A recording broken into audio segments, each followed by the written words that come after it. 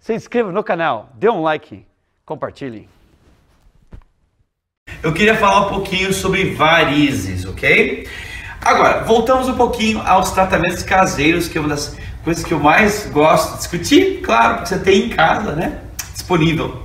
Ah, o tratamento seria cuidado, sentar por muito tempo. Então, eu quero que você mude de posição cada meia hora, ok? Se você está num, numa, digamos, no emprego onde você senta constantemente, por favor, se levante por alguns minutos cada meia hora, ok? Se você está no emprego onde você está sempre de pé, eu quero que você sente e eleve as pernas. Então, elevação das pernas, como elevar? Senta e coloca três ou quatro travesseiros e levanta as pernas, ok? Para aquele sangue voltar para o coração. Então, uh, mudar de posição cada meia hora, ok? Se você está sempre em pé sentado, se você está sempre sentada, por favor, uh, elevar as pernas.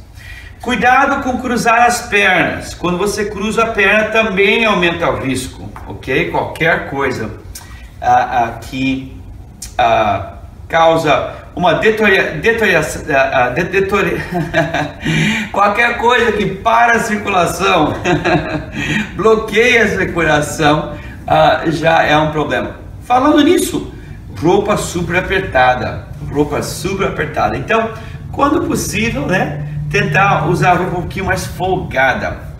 A outra coisa, sapato alto uh, ajuda a causar uh, varizes e sapato baixo, como ele faz mais exercício dos músculos da perna, ele diminui a, a, esse risco de varizes, ok? E as meias, não, a, a, claro, a meia que é metade da perna, né, até os joelhos ajuda, mas a meia melhor é a de compressão, é a meia que vem até mais ou menos essa altura na sua perna. Outros falam a perna, perna inteirinha, ok? Então, claro, exercício e, claro, abaixar o peso. Por que exercício?